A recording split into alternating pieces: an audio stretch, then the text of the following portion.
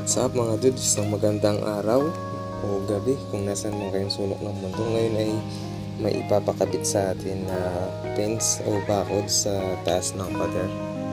Ayan, ayan ang ikakabit natin dito sa part na to. Magbabaon tayo ng bakal para may mapapag-weldingan tayo dun sa poste. Yan sa mga posting yan. Saan sa ilalim. Diyan sa ibabaw ng pader.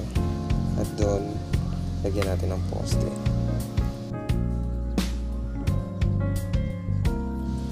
At ito, re-repair natin to kasi isang araw lang daw nasira na yung pinakabisagra niya kasi manipis lang. Tapos yung panloob niya na square bar, papalitan natin ng mas makapal na square bar na 12mm at kakabit muli natin siya dito sa part na to.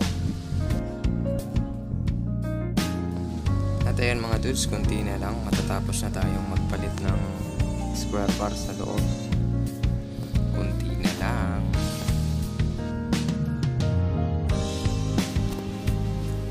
At ayan na mga dudes, okay na. Naikabit na natin. Napalitan na rin natin ng square bar na panloob. Makapal na. Tapos yung pinakabisagra niya, pinapalan na rin natin para mas tumagal siya. At ito naman yung fence. Ayan, nagkabit tayo ng tubo ron sa kanto na pinag pagkakabitan niyan. Pinaka-poste. Ayan, tapos nilagyan natin ng mga bakal. Binaon natin sa pader, sa ibabaw ng pader, maging sa poste. Ayan, makikita nyo naman. Ayan, ito sa, sa loob.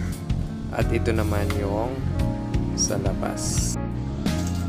At ayan mga mga dudes, tapos na tayong magkabit ng bakod at maging ng pintuan doon sa likod ng bahay sir. At maraming salamat sa kanila sa tiwala.